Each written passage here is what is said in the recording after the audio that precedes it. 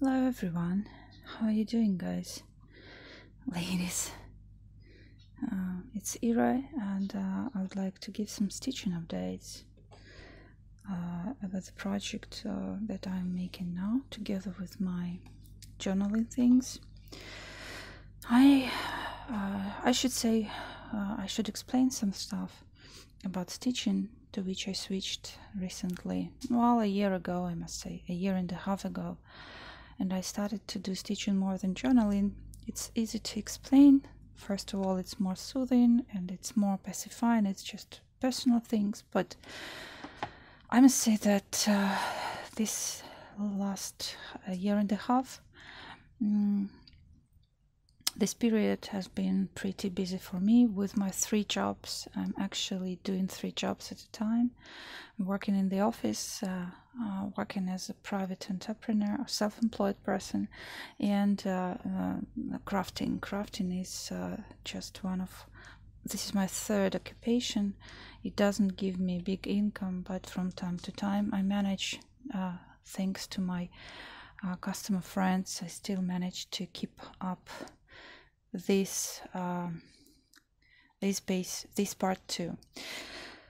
And stitching is easier in this case when you're very busy because you know you take this uh, canvas or something and just stitch a, piece at a time. And it's like you don't need any uh, big tables or special equipment. You just need needle thread and some some fabric or something. Uh, that's why I can do it in the in between all my rest, all my main activities, and it's uh, just less time taken in this respect. But I still uh, do journaling, mm, but my journaling projects they usually involve big uh, stretch of uninterrupted time when I have to like start uh, arrange everything you you might I, I think all of you know it. You arrange everything around like all the table surfaces with pieces and bits and glues and things and then you just dive into this amazing process. And uh, sometimes uh, when some time ago i could um, allow myself to take a day off or something to just uh, give give myself completely to the project. Because sometimes it takes a day or two just to make a couple of uh, pages even uh, coming all together. If you want them to have uh, to present a bigger concept they should should be somehow um, connected with the ideas that's why those projects go uh, slower, more slowly, I must say. But today, uh, yes, was a little bit of explanation because I know many of uh, subscribers are here just because of my journaling things. So I promise I will post journals, uh, flip throughs, and some mm, tutorials of how to process videos uh, just for you to enjoy and benefit from as well but I also will continue doing some fabric things and also will make videos about them as well. So that's my new project. This is the hugest one. I have never ever done such a big one. I plan it to be another wall hanging or it's more of a even like a rug or carpet or something. But uh, that's the top. It's just in the middle it's just in the middle. It's like multi-layered with different pieces and bits. This central piece uh, took a long but there were a few mistakes learned from from making it.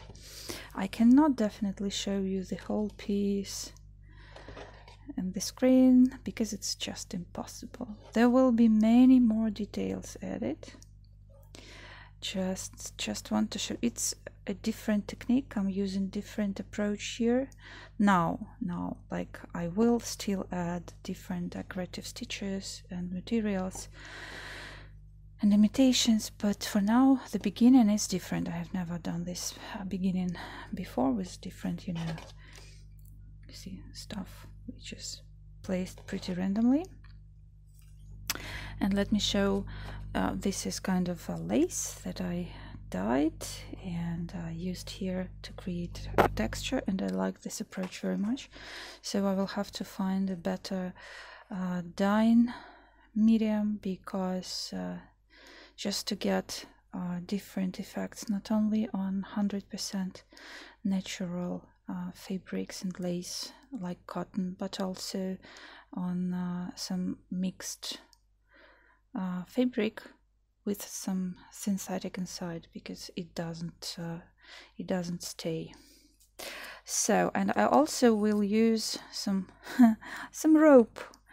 Uh, I made it with different you know um, strips of fabric not only fabric uh, some other textures it's pretty long and I'm gonna use it again as well here. So this rack will not be that neat if I call if you can call any of my creations neat. As the previous ones I think it will be more raggedy like. And uh, one more acquisition I want to show you. I recently visited big city for some other reasons and I couldn't help getting into the craft store, store and uh, this is what I found. I believe it's going to be a great addition. I don't know. I just I don't know yet whether I will use it or not. Definitely, but I hope I think I will. And um, I think I, I, I need to sit and think how to use it, not just plainly stitching to the pieces, although it also will be nice, but maybe I can create different, you know, textures, patterns, uh, focal pieces. I think in it is, it's just uh, a, a cool find and treasure. Uh, I also bought lots of sorry pieces of material and things and uh, threads and um, because it's like uh, I go to this store maybe twice a year. And so when I get there I can't avoid buying something new although I have plenty of material so far and uh, enough forever. So it's just it was just kind of, you know, indulgence. Uh, well, thank you so much.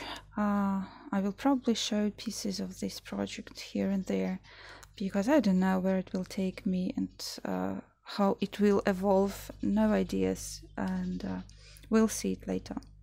This piece works for itself, it just uses my hands as tools, and uh, I, I don't I have nothing to do with this piece. Just my my hands and my mind sometimes gets some proper information, which is then represented in the piece. But I feel it's not me. I, am not creating this, uh, generating this. It's turning out somehow itself. I wonder if you have any, if, if you have feelings like that when you are working on some project. There are such projects, not always, no, but there are such projects that create themselves using us as just simple mechanism or something.